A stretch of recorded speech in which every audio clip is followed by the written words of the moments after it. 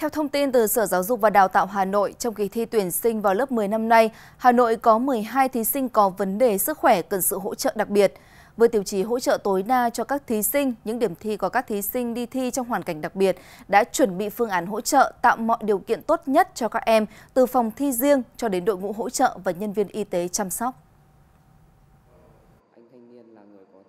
Kỳ thi năm nay, Hà Nội có 12 thí sinh có vấn đề về sức khỏe, cần sự hỗ trợ đặc biệt, trong đó có 9 thí sinh bị gãy tay, hai em thiếu insulin cần được tiêm truyền 24 trên 24 và một thí sinh bị điếc bẩm sinh phải dùng máy trợ thính.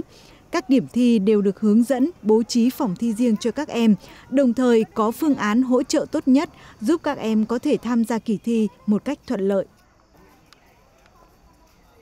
Thì lúc đấy thì em ờ, có luyện qua tay trái mà viết nó hơi chậm với cả chữ cũng ờ, hơi uh, xấu nên là phải uh, nên phải nhờ các uh, mọi người để để viết bài cho em đầy đủ để lúc lúc em bị gãy tay thì em cũng hơi lo lắng vì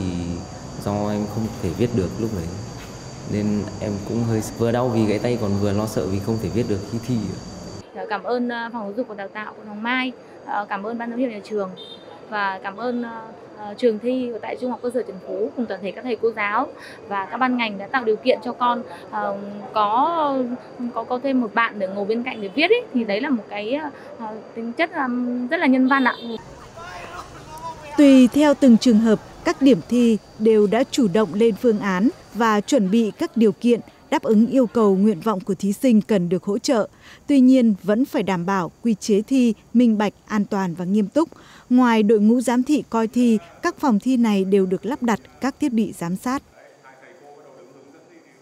Trường cũng chọn phòng mà có cái điều kiện cái cơ sở vật chất tốt nhất, đó là có điều hòa, ánh sáng đảm bảo một cách tối đa cho các con. Bên cạnh đó thì nhà trường cũng đã